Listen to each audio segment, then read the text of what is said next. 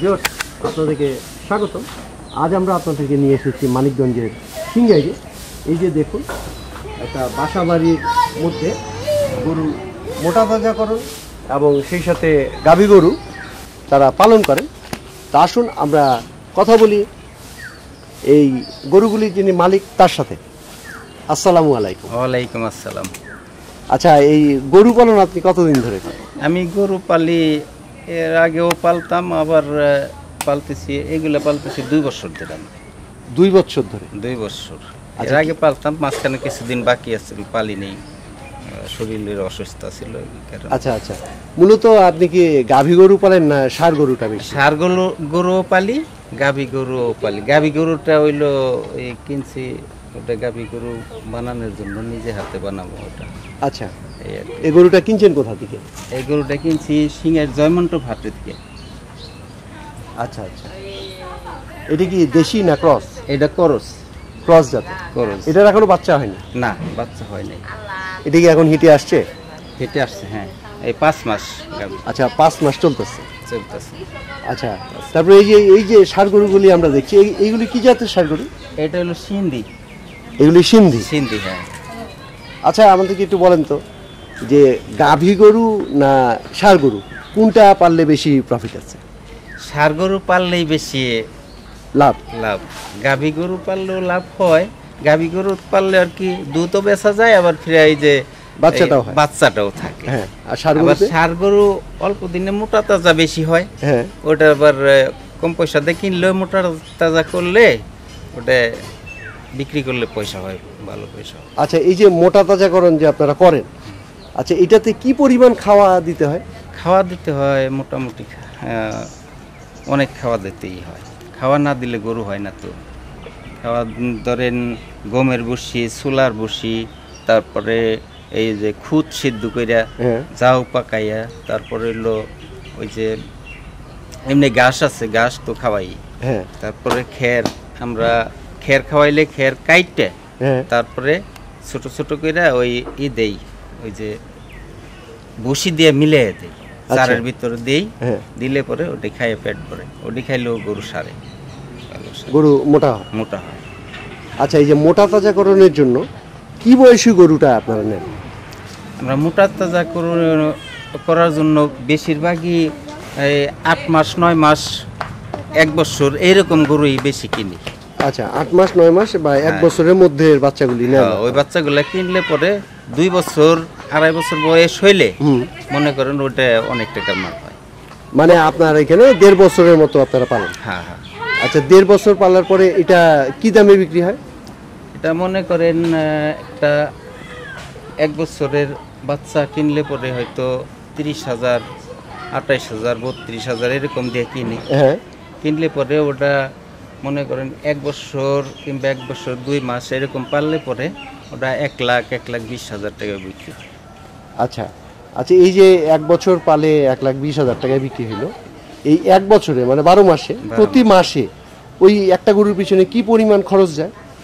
প্রতি মাসে এক বছর প্রতি মাসে একটা গরুর পিছনে খরচ হইল মনে করেন এক বস্তা ভুসি এক বস্তা কুড়ে এক বস্তা হাজার তিনিক তিন হাজার টাকার মতো খরচ হয়। তিন হাজার টাকা। আচ্ছা তার মানে বারো মাসে মনে করেন তিন বাং ছত্রিশ হাজার টাকা। হ্যাঁ, মনে করেন চল্লিশ হাজার টাকা। আর তিরিশ হাজার টাকা দিয়ে কিনে হলে সত্তর হাজার টাকা। আর বিক্রি হচ্ছে এটা এক লাখ বিশের মতো। তার মানে পঞ্চাশ হাজার টাকা লাভ থাকে এক বছর। এক বছর। মানে একটা গরু একটা গরু তো তাহলে তো সার গরুতে অনেক বেশি লাভ। হ্যাঁ সার গরুতে মোটামুটি লাভ আচ্ছা এরকম এই সার গরু যারা মোটা তাজাকরণ করতে চায় আপনার তো অনেক দিনের অভিজ্ঞতা। আপনার অভিজ্ঞতার আলোকে যদি আমাদেরকে বলেন যে সবচেয়ে জরুরি জিনিস কি? কি করতে হবে? খাওয়ানোর জন্য নাকি? মানে প্রথমে কি কীভাবে শুরু করতে পারে? হ্যাঁ কীভাবে শুরু করতে হবে? এটা কিনে আনতে হইব কিনে আনলে পরে ওটারে ওই গুঁড়া আছে গুঁড়া বানাইতে হয়। তারপরে ওই যে ই আছে সিমেন্টের ওই যে চারি ওই চারগুলো ওই চারগুলো বানাইতে হয় ওইগুলো চার চোট বানাইয়া তারপর ওই চারের ভিতরেই আমরা ওই যে এই কুড়ে বসি এগুলা খাওয়াই। আচ্ছা। ওগুলা খাওয়াই। মানে ঘরটাকে প্রথমে প্রস্তুত করতে হয়? হ্যাঁ ঘরটা হইল প্রথম। আচ্ছা। প্রথম হলো গড় তারপর হলো গুড়া। আমরা গ্রাম দেশে বাঁশের গুড়াই দেই বেশিরভাগ। তারপরে কিছু কিছু আবার যারা বেশি টাকা খরচ করে বেশি গরু পালে ওরা এই সিমেন্টের গুড়া দিয়ে দেয়। আচ্ছা। হ্যাঁ। আমরা ওই বাঁশের গোড়া দিছি। মানে নিচে আর? হ্যাঁ নিচে। গরুর ওই যে পায়ে যেখানে যেখানে থাকে এখানে। আর যদি একটু পয়সা বেশি খরচ করা যায় তাহলে সিমেন্টের গুঁড়া দিয়ে ওইটাকে প্লাস্টার করে দেওয়া হয়। আচ্ছা ঘরটা তো তৈরি হইল। হ্যাঁ। তারপরে এই যে এটার চিকিৎসার ব্যাপারে আপনারা কি করেন? চিকিৎসার ব্যাপারে গ্রামে ডাক্তার যারা আছে হ্যাঁ। ওই তার কাছে ছোটোখাটো কিছু হইলে যাই। তারপরে বড় কিছু হইলে দেখা গেছে যে তার কাছে কোনো কাজ হইল না তারপরে সিঙ্গেরে ডাক্তার আছে। হ্যাঁ। ডাক্তার আছে সরকারি ডাক্তার। ওনার ওনার ফোন নাম্বার আছে। ওনার ফোন দিলে উনি আসে এসে চিকিৎসা দিলে আল্লাহর রহমতে গরু ভালো হয়ে যায়। আচ্ছা আচ্ছা যেহেতু খাদ্য আর চিকিৎসা গেল। আচ্ছা আপনি এই যে বাড়িতে যে গরু পালন করেন এর আগে আপনি কি করতেন? ও এর আগে এর আগে আমি ওই ব্যবসা করতাম। আচ্ছা। এই ব্যবসা করতাম একটা দোকান করতাম। হ্যাঁ। দোকান করতাম। দোকান করাতে মানে বাকি বুকি দিয়ে অনেক লস হয়ে গেল। আচ্ছা। লস হয়ে গেল এখন কিনা দোকান করা যায়। মানে মুদির ব্যবসায় মুদির ব্যবসা হ্যাঁ। মুদি। এটাতে বাকিতে প্রচুর লস হয়ে যায়। হ্যাঁ লস হয়ে গেল। তারপরে আর কি এই গরু বাছুর পালন মানে এখন আপনি ব্যবসা ছেড়ে এখন এই ব্যবসাতেই আপনি চলে এসেছেন। তো তাহলে এই ব্যবসাতে তো তাহলে লাভ ভালোই আছে। মোটামুটি ভালো। এটাতে তো আর বাকি টাকি হয় না? না না। এটাতে মোটামুটি একটা ভালোই পাওয়া যায়। আচ্ছা আপনি এই যে গরুগুলি বিক্রি করেন কোথায়? আমরা বিক্রি করি বেশিরভাগই গ্রামে থেকে নিয়ে যায় ঢাকা শহরের মানুষ আসে যারা নাকি পরিচিত হ্যাঁ। ওনারাই নিয়ে যায়। আর তা না হইলে যদি না আসে তার কাছে হয়তো টাকা পয়সার ই না হয় আমাকে মন মতো না হয় তাইলে হ্যাঁ। আমরা নিয়ে যাই গাবতুলি হাটে। আচ্ছা। গাবতুলি হাট আছে আবার পারাগ্রাম হাট আছে। হজরতপুর হাট আছে। হরজতপুর আছে। আচ্ছা ওই ধরনের ইয়েতে নিয়ে যান আপনারা। আচ্ছা আমাদেরকে একটু বলেন যে এই যে গরুগুলি যে আপনারা যে বিক্রি করেন এই যে এখান থেকে যে বিক্রি হয় তো আপনার যদি মোবাইল নাম্বারটা একটু দেন। মোবাইল নাম্বার দেওয়া যায়। বলেন। আমার তো নাম্বার মুখস্থ নাই? তো নাই। একটু বাইর করেন আমরা দেখি। বাইর করে ভিউয়ার্স আপনারা দেখছেন যে ওনার বাসার সামনে এই যে গরুগুলিকে রাখা আছে এখানে একটা অস্ট্রেলিয়ান গরু আপনারা দেখছেন। আর এই গাভীটা হইল দেশি গাভী ক্রস। আর এই সারগুলিকে তো আপনারা দেখছেন। বলেন আপনার নাম্বারটা বলেন। আপনার নাম্বারটা একটু বলেন। জিরো ওয়ান সেভেন ফোর হ্যাঁ।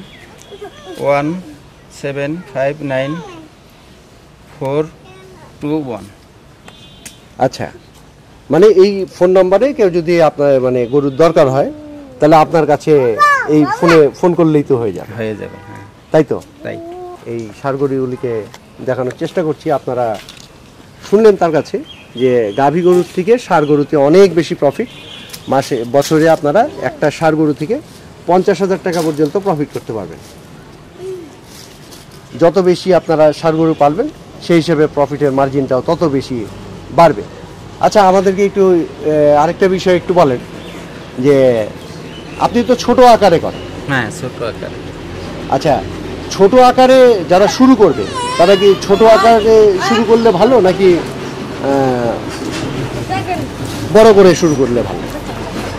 বড় করে জায়গা টাকা পয়সা বেশি আছে। হ্যাঁ। আর বড় করে করলে করতে পারে তাকে তো আবার আমি তো নিজে খাইটা নিজে ঘাস খাওয়াই নিজে সব কিছু করি। হ্যাঁ। আর বড় আকারে করলে তার মানুষ রাখ- রাখতে হইব তার বেতন দিতে হইব আরও অনেক এই করতে আচ্ছা এই যে ঘাস খাওয়ান আপনি কি নিজের জমিতে ঘাস চাষ করেন? হ্যাঁ নিজের জমি এই জমি রাইখা নিজের জমি গাছ লাগানো আছে গাছ বোনা আছে ওই গাছ এনে খাওয়াই। আচ্ছা আচ্ছা। তার মানে এই খরচটা এই দিক দিয়ে কিছুটা কম হয় নিজের জমিটা থাকে হ্যাঁ। তাই তো? আচ্ছা ভাই আপনাকে অসংখ্য অসংখ্য ধন্যবাদ। ভিউয়ার্স এতক্ষণ আপনাদেরকে আমরা জানানোর চেষ্টা করলাম যে আসছে কুরবানি। আপনারা অনেকেই চান যে গরু পালন করে আপনারা স্বাবলম্বী হবেন। মূলত তাদের উদ্দেশ্যে আমাদের এই ভিডিওটি। আমরা আজ আপনাদেরকে দেখালাম গরু মোটা তাজাকরণের মাধ্যমে বিজনেস করলে আপনারা অনেক বেশি প্রফিট করতে পারবেন। তা যে পর্যন্তই। পরবর্তী ভিডিও দেখার জন্য আপনাদেরকে আগাম আমন্ত্রণ জানিয়ে এখানেই শেষ করছি। সবাই ভালো থাকবেন।